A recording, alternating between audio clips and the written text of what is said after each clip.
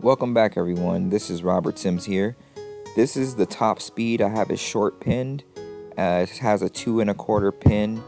Shout out to Mikey Pinnell, he suggested this ball with a short pin layout. Um, as you'll see here, it's a fresh house shot, but the five board has some friction halfway down the lane, so a few shots you'll see it hit the five board and go.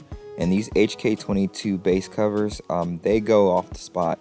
Um, so what I'm probably going to do with this is take the surface down to 1500 or 2000 to see if I can get it to start up a little earlier and smooth it out.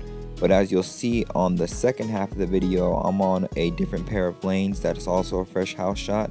And you'll see that I'm playing further right, but the ball does the same thing every time. It's a smooth arcing motion, but since you have that big asymmetrical core, it actually gives you some hitting power.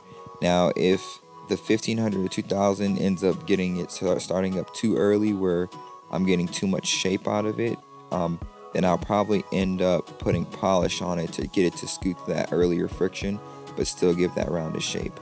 Now, if there's any other videos you guys would like to see, any balls or anything, I'll see if I can get them. Just leave a comment below. Um, and if there's anything else you'd like to see, I know there's a lot of no thumb, one-handed people that actually have left comments on videos they like to see, just go ahead and comment and I'll try to get to those for you guys. Since I'm working in the pro shop, I'm able to get a lot of stuff done. Thank you guys for watching. Hope you enjoy.